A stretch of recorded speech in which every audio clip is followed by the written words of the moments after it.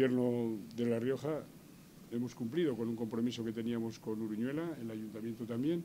Ahora lo que pedimos también a todas las asociaciones, a todos los colectivos que estáis aquí en Uruñuela, que le deis vida aquí también a esto, que no me cabe ninguna duda que así va a ser, ¿no? En los meses que ya viene funcionando, sé que ha tenido muy buena aceptación entre los jóvenes, entre las personas menos jóvenes, ya más mayores, entre todos. Y eso es lo bueno, ¿no? Que eh, esas infraestructuras que realizamos en cada pueblo, que se vayan, por lo menos que tengan esa utilidad y que tengan esa vida, ¿no?